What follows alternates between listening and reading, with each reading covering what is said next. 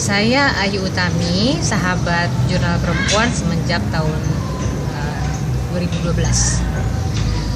Saya mengucapkan selamat Hari Kartini. Semoga perempuan di Indonesia dan di dunia hidup bebas dari rasa takut.